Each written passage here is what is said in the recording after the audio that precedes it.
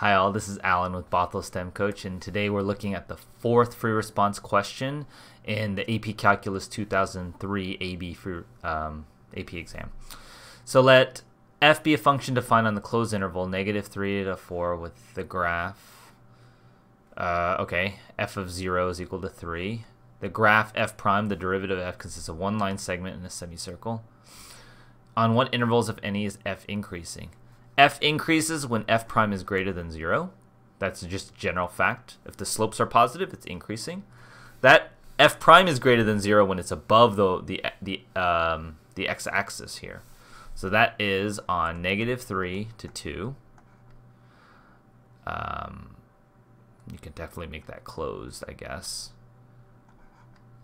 In addition, that's it. That's the only interval. Other, everywhere else, it's negative. It's decreasing. Okay, so that's that one. Find the x-coordinate of each point of inflection on the graph of f on the open interval, negative 3, and justify your answer. Okay, what's a point of inflection? Point of inflection was f double prime is equal to 0 and changes signs. In this case, f double prime are slopes of f prime, because it's the derivative of f prime. So the interpretation of f double prime on this problem is that is that we're looking at the slopes of f prime. Okay, so down here the f double prime is zero. This is zero or or undefined. At this point, f double prime is undefined. Here the slopes are positive, so at this interval f double prime is greater than zero.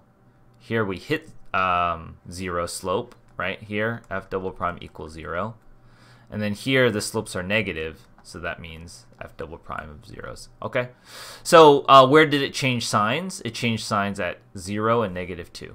So points of inflections are at x equals 0 and negative 2. Okay. Find an equation for the line tangent to the graph of f at point 0, 0.03. So in general, when you want to do um, any tangent line, I always write this. y minus y naught equals m x minus x naught. This is point slope form. Now in this case, I already know my point that I'm at. That's equal to mx. Um, I just need to know what m is. m is equal to f prime at x equals 0. What's f prime at x equals 0? f prime is just this graph. So f prime, that's negative 2. Because at x equals 0, f prime is negative 2. So then I have y minus 3 is equal to negative 2x or y is equal to negative 2x plus 3. You could leave it in this form or this form, it doesn't matter.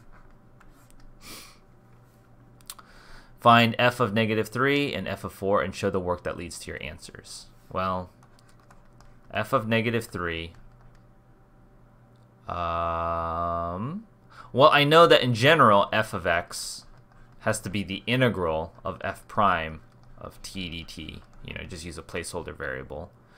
And I could say from 0 to x and then plus f of 0. Like this is a standard way you could write this because I was given f of 0, so you can write it like that. This this 0 has to just match this bottom one here.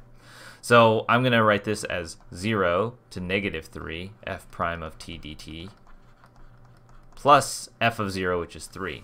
Now this portion is the integral. It's the area under this curve from 0 to negative 3. Okay, so I need to compute these areas. Now, if I was going negative 3 to 0, I would make this positive area. So let's find this area. This area uh, is a triangle. So it's 1 times uh, 1 divided by 2. So the area of this is 0.5. The area of this triangle is 2 times 2, 4 divided by 2. So this area is 2. Okay, so if I were going left to right, I would do 0.5 minus 2. But because I'm going from 0 to negative 3, I have to switch the side. So this is really positive area in that sense, and this is negative area. So to do 2 minus 0.5, that's equal to 1.5. Okay? And then if I want to do f of 4, I do the same thing. I'm going to integrate the area from 0 all the way to 4 out here. I want to find this area. It's all negative area, and then I'm going to add that to um, uh, 3. Oh, did I do plus 3? Oh, I no, no, no. I did the area. Oh, 2 minus 0.5 is 1.5. 1.5 plus 3 is 4.5. Caught myself there. Okay, this area, You have to think of this as there's a rectangle and then there's a circle. So the rectangle area is 2 by 4, that's 8. And the semicircle area is, um, well, if it's a whole circle, it would be pi r squared. So this half a circle, half of pi r squared. What's the radius of this circle? It looks like it's 2. So 1 half pi, 2 squared. That's 4. 4 divided by 2, that's 2 pi. Okay. So this gray area is 8 minus 2 pi is the area here. But this is negative area, so I gotta do negative. So this is gonna be negative 8 minus 2 pi plus 3. So that's negative 8 plus 3. That's negative 5. Negative minus that is plus 2 pi. Negative, those negatives cancel. Okay. So let's take a look at the solutions here. Um, is increasing from negative 3 to negative 2 since f prime. Technically, this should be a an open interval. I don't think they'll dock you for it. It's technically an open interval though. So because um, it's not equal to negative 2. Because right at that point, it's actually 0. But we said we got the right thing. Negative, th negative 3 to negative 2. That's what we said, right? Negative 3. I don't know why I didn't say negative. It was negative 2. Wait, negative 3 to... Yeah, this is a negative 2. So that's my, my bad. I just... I don't know why I didn't write it correctly. I pointed it out. If you were to rewatch that portion, I was pointing to it. Uh, okay, that's fine. Um, change increasing equals 0 and 2. That's what we got. 0 and 2. Uh, yep. And tangent lines y equal negative 2x plus 3. That's correct. We got... Um, what did we get for our answers?